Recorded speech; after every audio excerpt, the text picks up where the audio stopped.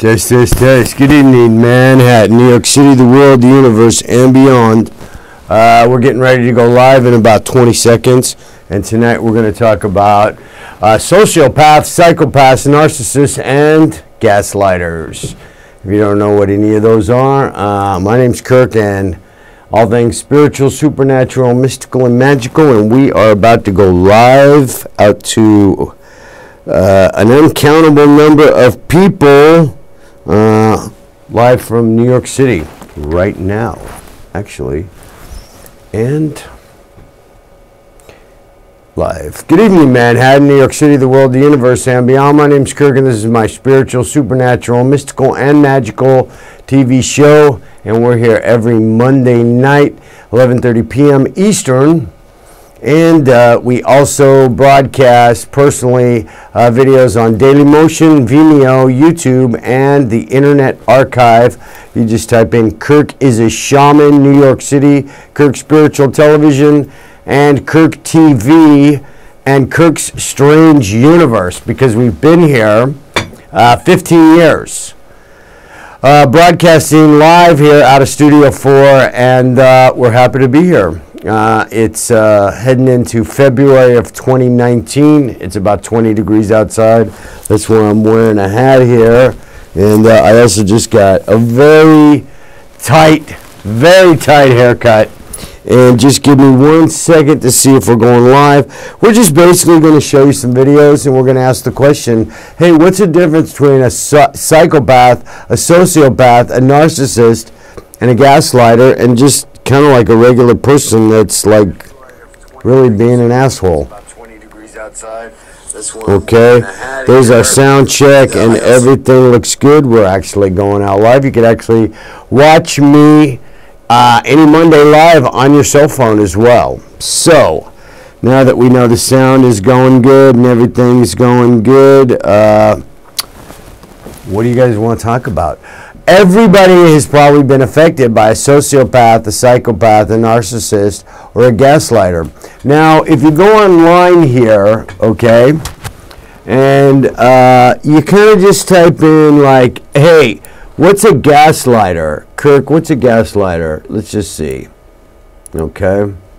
Uh, so we're going to type in uh, what is a gaslighter. For those of you who may or may not know, we've done shows about it before. What is a gaslighter? Okay, and uh, eight signs that some that you're in a relationship with a gaslighter. Eleven warning signs. Psychology Today. So you know it's it's kind of a hot topic actually. Gaslighting uh, versus, but what's the difference?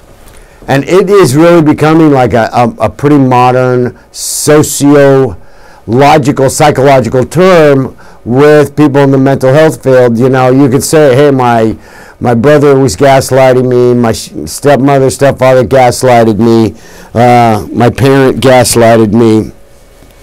Oh, man, always, uh, it's not Kirk Spiritual Television if I don't run over the, uh, the cord here. There we go. And I do this like almost every show. my name's Kirk. Welcome to my show. I'm an interdimensional shamanic healer, and uh, I do something called soul retrieval and spirit mending for clients. And if you'd like to know more about that, you can go on over to kirkspiritual.com and uh, I'm just I'm happy to be here. Uh, I'm happy to talk to you. I'm uh, kind of happy to be mentally healthy enough to get out of the house and have my own TV show.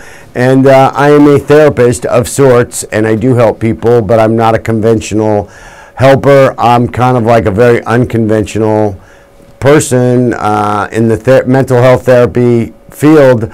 I'm a shamanic healer. I do soul retrieval, spirit mending and uh, if you'd like to know more about what I do, like I said, I'm on all social media, Instagram. Uh, maybe we can do a little thing where I can show you a little bit of it. So let's see. I promise not to run over the mic again. Uh, so we're going to go to videos about gaslighting. and some of it call some people call it narc abuse actually instead of uh, gaslighting you can also now it's very in vogue to say to shorten narcissist to narc and say you know you've been a victim of narc abuse and uh, so if you go on to uh, let's see go on to youtube there's tons of stuff uh, let me see. Uh, how to respond to a partner who gaslighting you when you're being manipulated. So why don't we try uh, Facebook, uh, excuse me, YouTube, and see. Uh, like you could type in narc abuse. You've Never seen a multi damager like this before. Uh, okay, narc abuse. No one understands narc abuse. Uh, why the new supply is I don't know what that is. Uh, how narcissists use projection to destroy you. So you've got a lot of personal videos, and then you've got some people in the mental health field. Eight signs you're suffering from narcissistic abuse syndrome. Narc abuse, don't give up. Uh, why abuse victims, binge watch, narcissism. So you know, it's it's classic YouTube stuff. Everybody's. Oh, here's one. Maybe we should just watch this. I didn't have it in our regular I'm creating lineup, website. uh, but as soon as the ad passes, we will uh, we'll watch this one. It's only four minutes long. What do you say about that? And the title is. Let's see. Five signs of narcissistic abuse. What is covert narcissistic abuse? Are you a victim? Mind games. Nobody enjoys being played, but narcissists enjoy playing them. They enjoy the game of cat and mouse and seek honorable victim. But more often than not, people who are prone to being taken advantage of by narcissists overlook their innocent facades. In fact, they often make excuses for them, even when they're being poorly mistreated by their toxic behavior. Why is this? Because narcissists aren't always obvious. They disguise themselves by being charmingly covert. Here are five dangerous signs you're being abused by a covert narcissist. 1. They minimize your needs. Do you feel like you're giving more than you're receiving? What about feeling small when you're around them? Covert narcissists have a sneaky way of getting inside people's heads and making you believe like you're responsible for everything. They rarely take fault, and even when they do apologize, they do it sparingly and without meaning just to get you to forgive them. They don't care for facts or logic, only what they want to hear or believe that benefits them. Recognize that what you need is important too, so don't always yield for their benefits. 2. They forget that you exist. Being passionate about a hobby or a career is an attractive trait, but there's a fine line between passion and obsession. If your friend or romantic partner often ignores you or cancels plans with you to focus on their favorite activities, then it's a sign that they just don't care about you. Being understanding and open minded, you probably always make up excuses for them. You frequently say things like, Well, they worked hard to get where they are today, so I'm gonna be supportive. Or, There's always next week, what's the rush? But this is exactly how they have you wrapped around their finger. Don't let them have the upper hand and emphasize your boundaries. 3. They project false humility. Do they often cry to you and put themselves down, saying they aren't good enough or feel misunderstood? Before believing them, recognize that this is a trap. Covert narcissists like to play the victim card and feel like people never understand them enough. They might be highly sensitive individuals who say things like, if only people could understand how smart I am, or why don't others appreciate who I am? They love surrounding themselves with those who can boost their ego. It's better not to give in and dish out less compliments. 4. They never approach you first and wait for you to come to them. Covert narcissists feel a sense of entitlement. They believe that they should be appreciated and noticed first by others before giving someone attention in return. They dislike being in a group full of people, unless all eyes and talk are on them. If you find yourself constantly putting in all the work and go to them first, then you've become their little puppet. Stand up for yourself and show them that you don't have all the time in the day to serve them. You're better than that. 5. They seem annoyed when you come to them with your problems. Are you the reliable friend? Okay, you they can check all these out on YouTube, and you can watch them like too, almost ad nauseum. you have a Some of them are really good, and some of them are just really bad. But uh, and, you know, you have a lot of people saying that they were victims of narcissistic abuse or narc abuse. So, uh, scared of love because of narc abuse, you have people talking about it. Uh, and you know, you have some professional videos, obviously, and then you have, uh, you know, just random people. Uh, so here you go. Um, so tonight we're not going to watch any quote unquote narc, narc abuse. We're going to watch and find out and ask and talk about what's the difference between a uh, a psychopath, first a psychopath and a sociopath.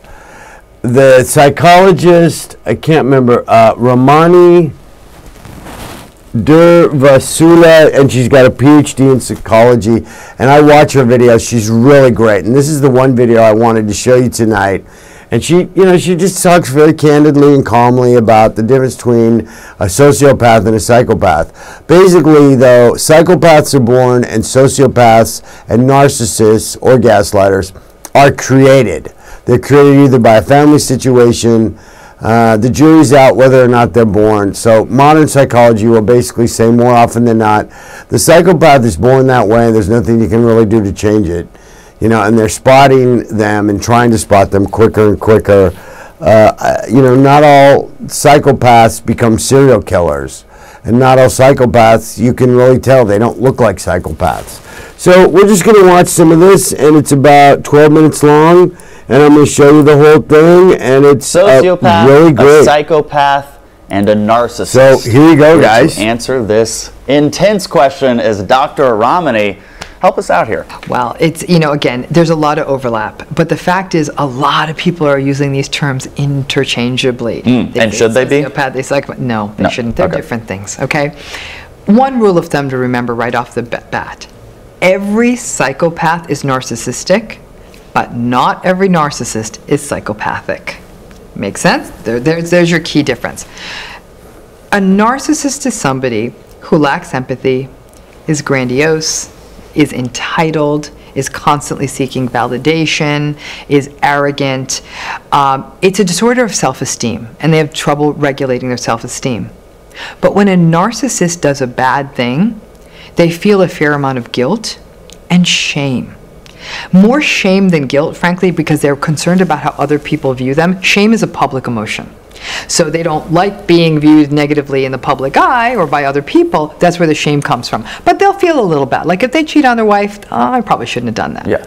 Psychopath's a different animal. They're all of those things except no guilt, no shame. Wow. They don't feel remorse when they do something bad. Wow. So they're they're great um, serial killers. Hired assassins, um, people who are going to go in and literally sort of gut a business. These are your guys. They're like, I don't, I don't care who gets hurt. They'd say that and they'd mean it. Okay, where a narcissist is like, I hope no one gets hurt. Okay.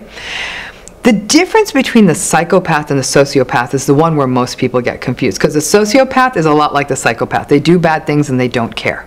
Okay? Here's the key difference a psychopath is born and a sociopath is made. Mm. Okay, that's the key. So, a psychopath, in fact, we know in the research on psychopathy, which has also been called antisocial personality disorder in our diagnostic manual, these are people who are actually believed to have slightly different autonomic nervous systems. Our autonomic nervous system is actually that part that holds our sympathetic nervous system, which is our fight and flight system.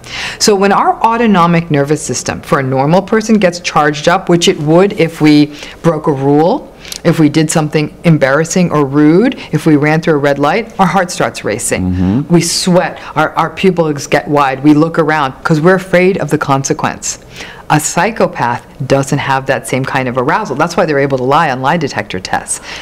That's how they get away with it. They don't have that same kind of arousal. So where you or I may go on a roller coaster, feel that sense of excitement, we need to get that arousal in a good way. We don't like feeling it when we do something wrong. They don't feel it. So, do don't they get stressed? No, not in the same way. So, if they're driving, Mm-hmm. because if I'm driving and I see police sirens coming behind me, I mean, it is a full on, oh, yeah. my gosh, I can't believe I'm going to get pulled over. But a psychopath would see that and go, oh, I'm going to get pulled over. Well, this could be. They could have a dead body in the trunk, and they wouldn't. They wouldn't change. And so they pull over, they get the ticket, and they don't care. No, they don't care. And they pay the ticket. If and maybe not, they'll even probably get an attorney to get them off, or say, yeah, you know, my understanding of your state laws is you can't really be doing this, and they'll be cool as can be. And this is this is a, a difference in their They're actually Their how their makeup. nervous systems are wired and their brains are. There's actually been interesting research done with PET scans where you can see brain function and what not just to shown- clarification, not pet like dogs and cats, PET, yeah, PET scans. Yes. Positron emission tomography Yes. scans of the brain, which show brain functioning, if you will. And what they see is that the the section of the brain that serves empathy that doesn't naturally light up in them. And you can actually teach them to be empathic for a minute, but it doesn't last. A lot of psychopaths who commit violent crimes end up in jail, and the ones who commit more like white collar crimes, I guess they end up as multi-billionaires because they're willing to do really, really rough stuff in their business and get through like a cartel leader or something like that. Call for the killings of other people. Now, their interesting um, counterpart are the sociopaths. Psychopaths born, they tend to, th- their belief is that they may very well have this might be genetic. In fact, psychopaths often have fathers who have lots of antisocial tendencies. Now, how much of it is learned, how much of it is genetic, it's a little bit harder to suss out. But we do see that there is that difference in your true psychopath. They also tend to be, have really glib, shallow charm. They tend to be really intelligent. That's why they get away with stuff. If they were So they've a they've learned behavior to Yeah. assimilate into society. Oh, yeah. But there's it's all a facade. It's all a facade. they're so charming. So if they're born this way, would a three-year-old then not get stressed out if it got No. scared? So that's incredible. So what we see when we diagnose antisocial personality disorder, which is sort of our diagnostic equivalent to being a psychopath, in order to get that diagnosis, you have to have shown a pattern prior to the age of 15 of things like truancy, violence towards other kids, stealing, skipping school, and not felt bad about it. setting fires. They just do it. They don't care. And that before the age of 15. So it's a long-standing pattern. That's what makes us call them a psychopath or having antisocial personality. Now, this is different than sociopathy. Yes, okay. Sociopathy, they look a lot like the psychopaths. The difference is they were made. So this some examples here. The kid who grows up in a really really really really rough neighborhood and learns criminality to get by or learns to be a bully or like, you know, gets involved with sort of like the wrong kids and uses a lot of muscle because that's survivalism, but they, they it's not necessarily always comfortable for them. They just learn it. It's the person who grows up with a father who teaches them the business and teaches them how to break the rules. Um, they he may But they, like- they don't.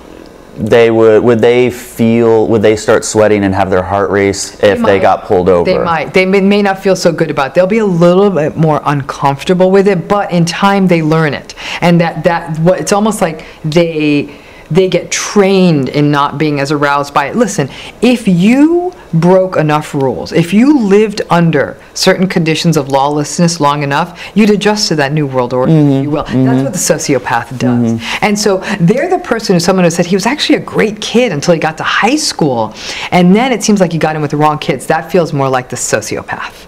Okay, that's almost like a training that might happen from at the, in, within the family, within their community, within even the job they get. Some cases even within some form of military training. Have you had sociopaths and psychopaths as clients? Mm, not really. No, they don't come to, tend to come in for therapy. They, they they don't see any benefit to it. The only time you would tend to see psychopaths or sociopaths come into therapy with any consistency is if they were court ordered.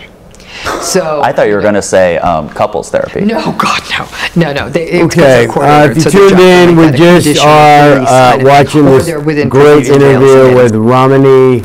Uh, I can't say her last name, uh, but uh, she's got like four videos on YouTube, and she's got uh, videos like let's see if it'll show up on the sidebar. Here you go. You got uh, four types of narcissism, and. Uh,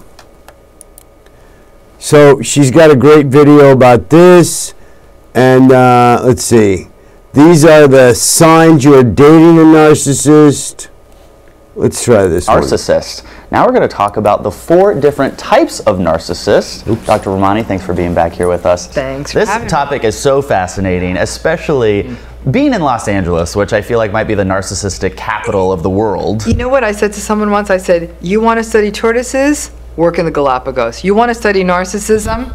Live in Los Angeles. I mean, it is it is rampant here. it is I, I think so, at least. Yeah. Um, before we get into those four types, quick question: In your estimation, what percentage of the population is narcissistic? Yeah, it's a tough one because again, it's a trait, right? It's not like a disorder where we could actually do an interview or figure it out. Uh, it's it's you know if I were to hazard a guess, like people who are noticeably narcissistic, we're like, whoa, you know, I would put that number probably to 10 to 15 percent. By no means do I think it's a majority. When you think of your own friends, most of them are sane, good, empathic, kind people. But I do think that at 10 to 15 percent, that's a lot of people. Now, again, I'm sort of pulling that number out of the air. It's, it's just a difficult, it's a difficult statistic to get. Not to mention that the measurement skills we have are not very good. Right. Yeah. But to think, even if you're in a room of 20 people, one to two of them Easily. actually would be classified as narcissistic. And it depends on what kind of room. Like, you know, if you're sort of like an entertainment industry effect, I'm going 50%. You know, but if you're, you know, or you're at like a lawyer banker meeting or Yeah, something like a that. little higher. But I don't know if you're at some sort of like a community volunteer meeting, probably one to two is more Very good likely. point. Yeah. So I was shocked to find out that there is not just a blanket term, narcissism or narcissistic. There's actually four different categories for this. Let's talk about those. Yeah, if you look at the research, and this is definitely, as I've gone over the years looking at what's been written, I really do think that four primary types have emerged. They're sort of our classical grandiose narcissists. That's sort of like the, I don't know, the, the Chanel suit of mm-hmm. narcissism. It's the classic representation of the person who's sort of very egotistical, arrogant, um, attention seeking, validation seeking. Look at me, I'm so great. Don't I have a beautiful house? They don't stop to listen to anybody. Again, your garden variety, grandiose narcissist. Okay? Far more problematic is the malignant narcissist. This is the person who is all the things the grandiose narcissist is lacking empathy, entitled, and grandiose, and big and pompous, but they're also really mean. Oh. They will do really bad things. They almost feel like they're a little bit psychopathic. They often won't even feel that bad, maybe a little bit guilty, but not Like, really. what, what do you mean they do bad things? Um, they will steal money from a company. They will cheat on their partner. Oh, like really They- bad like things. really bad things. Yeah, no, no, no. I'm not taking like saying like take more peppermints than they should from. Yeah, like, that's kinda what I was thinking. No, no, no, Yeah. no. I'm talking like big ticket bad, and they'll they'll lie, they cheat, they steal. These are your Bernie Madoff types. You know, like really malignant. They just sort of they they make great criminals. You know, and again, when we can talk about it at some point, there's a difference between a psychopath and a narcissist. By and large, a narcissist, even a malignant narcissist, will feel a little bad about doing some things, especially feel bad if they've hurt other people in their circle. So if they do bad things, they'll be sorry they hurt their family, but they often won't really care about other victims, that mm. kind of thing. Mm-hmm. So that's your malignant narcissist. Then there are some other types of narcissism that people don't realize and like, oh, that makes so much more sense. The key one in, in that one is called covert narcissism. Covert is a word that means secret, really. So a covert narcissist is somebody who is very sort of put upon by the world, but they're still grandiose. So they, they'll say things like, yeah, like, you know, I'm a really great photographer, but the world never really noticed my greatness. I guess I just came up at the wrong time. And all these cameras you guys use now, it's easy now, but back when I was taking pictures, I could have been one of the great ones. Are, is a covert narcissist. narcissist older? Uh, they can be, but not necessarily. Okay. They often feel like life done them wrong. They can be quite passive aggressive. Um, you know, they're that person. They're just, they always feel, they almost feel depressed. And in fact, more than a few of us will initially think the covert narcissist has depression and will treat them for depression. We're like, this is not getting better. And it has been 10 months. Even if they're on meds by now, something should have happened. So someone who has been classified as a Mm-hmm. covert narcissist and then treated for depression, will not show improvement. In- if they're depressed, they'll show some improvement in Correct. their depression, but they'll still walk around like, woe is me. Why doesn't anyone see how great I am? I do so many great things for the world, and I guess it wasn't my time. And, you know, and they, they'll be very vulnerable. If somebody said, they're very hypersensitive to criticism. So if somebody says, yeah, those pictures were good, but we're not going to be able to hang them up in our gallery. Uh, what? You're, you're, uh, and they'll throw a tantrum. They'll become really cold. They'll become distant. No, I'm not. I'm not. I'm not coming to your gallery opening. My Yeah. pictures weren't good enough for Yeah. you. That's the covert. kind of like the uh, I'm not fired, I quit. Yes, exactly. They really do feel like the world never got their greatness. Wow. That's the covert narcissist. yeah, there's a lot of those in There's Los a lot of that. And then that often gets missed as, well, no, they're not even that confident. I'm like, Yeah. no, listen. They really, Yeah. it's always like, nobody gets how great I am. So I know there's a fourth one, but before we go into Mm-hmm. that, let's dive into that. How how would I know, as I'm not a clinical, Mm-hmm. Yeah. you know, psychologist, how would I know if my friend or this person needs confidence, needs a boost, or if they're a covert narcissist? look at how victimy they feel. Hmm. You know, like how much like ah no one gets me or nobody gets how great I am. It's because it's always in a sense of it's nobody quite gets their excellence. There's sort of an arrogance to them versus Yes. a person who really is like, nah, this is I did not do a good job on this pie. I know I could do better. Can I let me give it another shot. So there's almost like this sense of efficacy, the word that means like I'm going to give it a, I'm going to give it a try. I recognize what I did wrong. They often won't take ownership. The covert narcissist will say, I see what my part was in this. I see why it didn't go right. The covert narcissist will blame the world. That's They'll very say, clear. You know that the world is to blame for why I did not succeed. All right, what is our fourth The type? fourth one is a Oh. fascinating one. I read an article about this and I was like, I I was like, you know, rarely do scientific articles get you as excited as I'm running around the university saying, you've got to read this. Oh my gosh, It's it. called the communal narcissist. Communal. Communal. The communal narcissist is that person, for example, all over their social media feed is like, off to feed the homeless today, but they're like really well made up, or like, it's dog rescue Thursday. And they're always out there trying to save the world. They go to galas and they go to benefits and they write big checks, but they need a lot of recognition. They need a lot of like, can we name this after you? Can we name that after you? Okay, guys, uh, we're gonna good have to wrap do," it up have a website tonight. I hope to like, see you here next regions of the Monday. But like, So let's uh, just, if you want to uh, once again see any of my social media, speaking of narcissists, uh, Kirk is a shaman. You just type that in and you want to get a hold of me. Let's see, Kirk Shaman. Uh, shaman, and you can type in New York City and spiritual, and you can watch a lot of past shows. Here we go. Here's my website, Kirk Spiritual Healing.